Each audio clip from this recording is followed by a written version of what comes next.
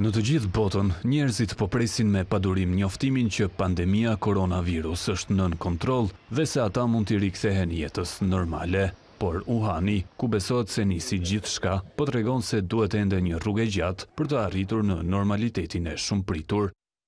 kur zyrtarët e qytetit kinez lehtësuan kufizimet me tetë prill, duke i dhënë fund izolimit shtatëdhjetë e gjashtë ditor, banorët dhe bizneset lokale mësuan shpejt se rihapja do të ishte tepër e ngadaltë dhe me dhimbje të stërzgjatur.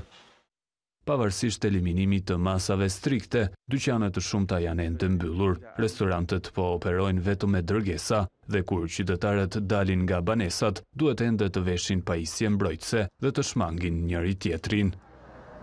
Pra atmosfera në terren është shumë më ndryshe nga ajo e paraqitur nga zyrtarët e vendit komunist. Qendra për Kontrollimin e Epidemive në Wuhan tha me tetë prill se disa sektorë në këtë qytet do të rikthehen njëqind për qind në aktivitet, madje premtojnë mposhtjen e koronavirusit dhe rinisjen e rritjes ekonomike. CNN zgjodhi të monitorojë situatën nga afër dhe gjatë një udhëtimi në Wuhan, pronarët e bizneseve treguan se po përballen me zero fitime dhe shpenzime të mëdha si pagesa e qirave.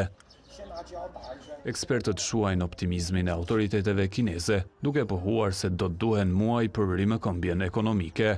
Prodhimi i brendshëm bruto i provincës Hubei, ku bën pjesë dhe Uhani, u tkurr me rreth dyzet për qind në tremujorin e parë të dy mijë e njëzetës.